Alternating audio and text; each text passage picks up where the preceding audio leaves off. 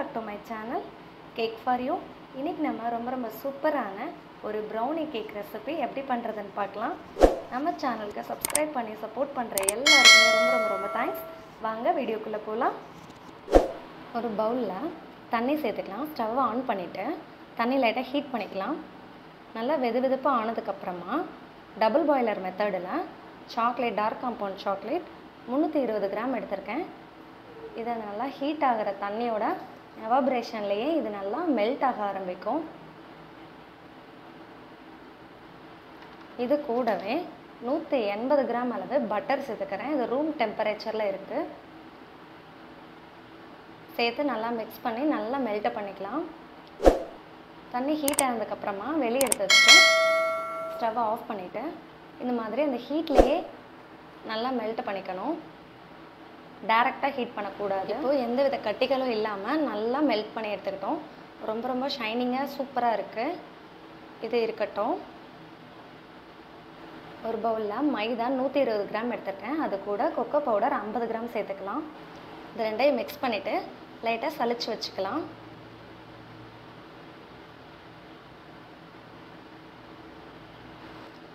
இப்போ ஒரு பவுலில் நாலு முட்டை சேர்த்துக்கிறேன். நாலு முட்டையை நல்லா பீட் பண்ணிக்கணும். நல்லா பீட் பண்ணதுக்கப்புறமா சர்க்கரை சேர்த்துக்கிறேன். ஒரு நூற்றி அறுபது கிராம் எடுத்திருக்கேன். இதை ஒரு ஒரு பேட்சாக சேர்த்து சர்க்கரை நல்லா கரையிற வரைக்கும் நல்லா பீட் பண்ணிக்கணும். முட்டையோட மஞ்சள் நிறம் ஃபுல்லாக பியூர் ஒயிட் கலரில் மாறுற வரைக்கும் நல்லா பீட் பண்ணி நல்லா க்ரீமியாக எடுத்துக்கணும். முட்டை சேர்க்கும்போது அந்த பவுலில் கொஞ்சம் கூட ஈரம் எதுவுமே இருக்கக்கூடாது. இப்போ பாருங்கள் நல்லா பியூர் ஒயிட்டாக வந்துருச்சு. இதில் நான் சாக்லேட் மிக்ஸு சேர்த்துக்கிறேன். இது ஆப்ஷனல் தான். உங்ககிட்ட இல்லைன்னா நீங்கள் சேர்க்க வேண்டாம். சேர்த்துட்டு நல்லா மிக்ஸ் பண்ணிக்கிறேன்.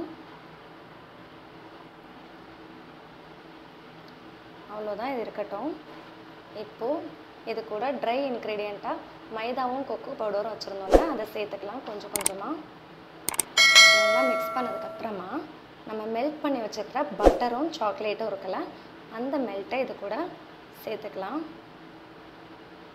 சேர்த்துட்டு ஸ்லோ ஸ்பீடில் நல்லா மிக்ஸ் பண்ணிக்கணும் ஜென்டிலாக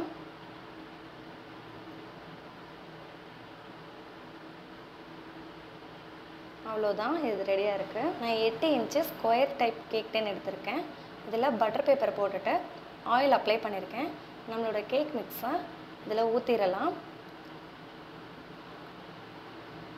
ஒரு கால் பாகத்துக்கு கொஞ்சம் அதிகமாக மட்டும் ஊற்றிக்கிறேன் இந்த ஈவனாக ஆக்கிறதுக்கு ஒரு டூத் பிக்கு அப்படின்னா ஒரு ஸ்டிக் வச்சு நல்லா ஸ்ப்ரெட் பண்ணி விட்டுறலாம். அப்போ தான் ஈவனாக பேக் ஆகும். இந்த கேக் டெனில் பேப்பர் வந்து கொஞ்சம் வெளியே எக்ஸ்டெண்ட் பண்ணி தான் வைக்கணும். அதுக்கப்புறமா கொஞ்சம் சாக்லேட் சிப்ஸ் சேர்த்துக்கலாம்.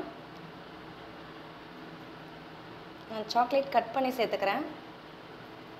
பேலன்ஸ் இருக்கிற கேக் மிக்ஸை நான் அஞ்சு இன்ச் கேக் டெனில் சேர்த்துக்கிறேன். சேர்த்துட்டு இதையும் ஈவனாக ஸ்ப்ரெட் பண்ணி விட்டுறலாம். இருக்கட்டும். இதுலேயும் கொஞ்சம் சாக்லேட் சிப்ஸ் ஆட் பண்ணிக்கலாம். சாக்லேட் சிப்ஸ்க்கு பதிலாக நான் சாக்லேட்டை லைட்டாக சீவி சேர்த்துக்கிறேன். இந்த மாதிரி. இது கூட நீங்கள் நட்ஸ் வேணுனாலும் சேர்த்துக்கலாம். ஆப்ஷனல் தான் உங்கள் விருப்பம். இப்போ ஓவனை ப்ரீஹீட் பண்ணிக்கலாம். பத்து நிமிஷம் நூற்றி இருபது டிகிரி செல்சியஸ்க்கு பத்து நிமிஷம் கழித்து கேக்கை பேக் பண்ணி எடுத்துக்கலாம். என்னோடய ஓவனில் வந்து பத்து நிமிஷத்தில் பேக் ஆகி வந்துடும் நான் யூஸ் பண்ணுறது IFB convection plus micro oven so அதில் வந்து பத்து நிமிஷத்தில் கேக் பேக் ஆகி வந்துடும் நீங்கள் ஓடிஜி வச்சுருந்தீங்கன்னா அதுக்கேற்ற மாதிரி டைமிங் கீப்பப் பண்ணிக்கோங்க. ப்ரௌனி கேக்ஸ் ரொம்ப ரொம்ப சூப்பராக பேக் ஆகி வந்துடுச்சு. இப்போ நம்ம லைட்டாக செக் பண்ணி பார்க்கலாம்.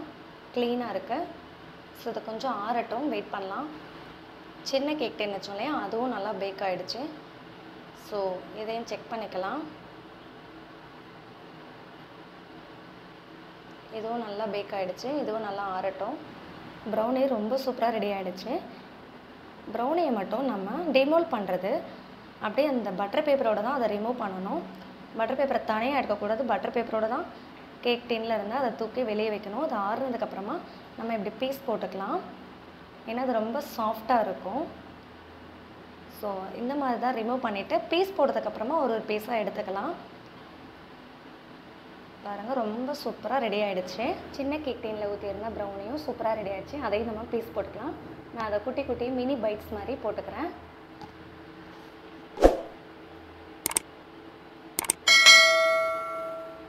அவ்வளோதான் நம்மளோட ப்ரௌனிஸ் ரொம்ப ரொம்ப சூப்பராக ரெடி ஆயிடுச்சு. எந்த ரெசிபியை நீங்களும் ட்ரை பண்ணி பாருங்கள் என்னோட சேனலை சப்ஸ்கிரைப் பண்ணுங்கள் தேங்க்யூ வெரி மச்